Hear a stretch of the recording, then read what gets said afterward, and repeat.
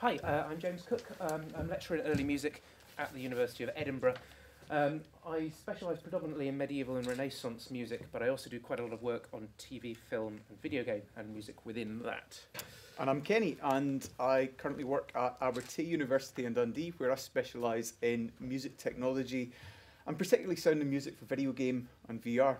Um, now, as audiophiles, I think both James and I recognise that acoustics play a very important role in how we make sense of the world around us, and they contribute enormously to our sense of being present within a space. And yet, it's one of those points of interface that's very often neglected. Um, I spoke to Laura Dillaway recently, who worked on Guerrilla Games' action VR combat game Rigs. And she told me that they spent so much time and effort in developing a control system that didn't actually induce vomiting in the players, that the sound and music was little more than an add on at the end. So what we wanted to do was develop a VR experience that foregrounded music and performance and that used VR as a way to explore space as a dimension of music performance. James. Okay. Uh, so what we aimed to do essentially was to recreate two historical performances within two very different historical performance venues. That's St Cecilia's Hall, the oldest purpose-built concert hall in Scotland, and the Linlithgow Palace, uh, specifically the chapel of this, which is the Great Pleasure Palace of the Kings and Queens of Scotland. Um, what we did to do this was scan both venues with LiDAR, reduce these into low poly models, which can then be built in a game engine, uh, rebuild then the current space so people can get a sense of how the space was, is now rather than in the past. We've then worked uh, in detail with Historic Environment Scotland, with the University of Edinburgh, archaeologists and a lot of archival research to try and work out what the space would have been like in the past. We've then been able to use ray tracing software on our recreation to essentially recreate the original acoustic as it would have been. Having then reach, uh, researched and chosen specific music which is linked to these sites, uh, edited and recorded these within anechoic chambers, uh, we've then been able to produce a version of the music which has no natural acoustic, which we can just drop into the spaces. Um, and we've then been able to uh, use our physical, uh, the physical spaces as they are now against our digital recreation of the present day to test how effective that is so we can be relatively sure that we're pretty close to how it sounded in the past. One of the key things that we learned was that musicians hate performing in anechoic chambers. Um, no great surprise, but it does appear to be a skill that can be learned. And developing expertise in that area was a kind of unexpected but welcome outcome of the project.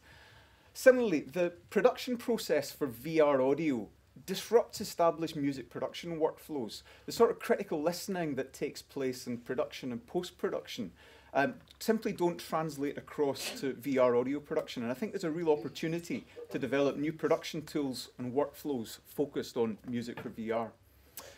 When we took our VR models out to the public, they were very warmly and affectionately received. I think, as many people have said today, the appetite from the public is enormous, and curators are equally keen to use VR to offer new modes of engagement that allow the public to play not just with heritage objects, but those intangible and experiential aspects of our shared heritage.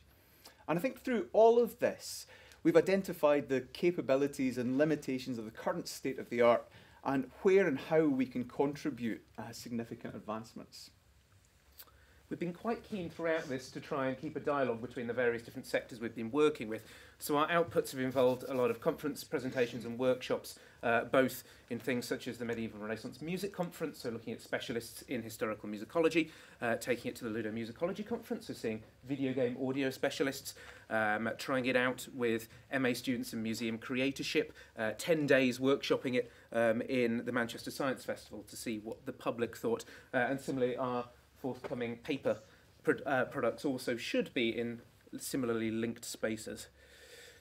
And in the last 15 seconds then, uh, we plan to create dedicated public VR access points at three sites. The two venues that we modelled, St Cecilia's Hall and Linlithgow Palace, but also the Engine Shed, Historic Environment Scotland Centre for Digital Innovation.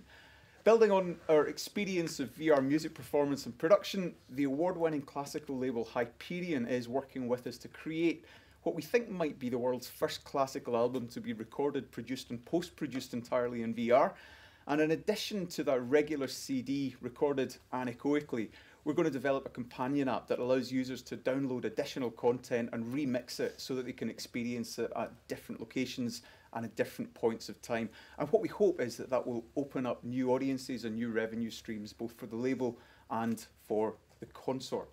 And I think I'll end there, 36 seconds over. Mm-hmm. Come Thank and you. see it in the thing downstairs.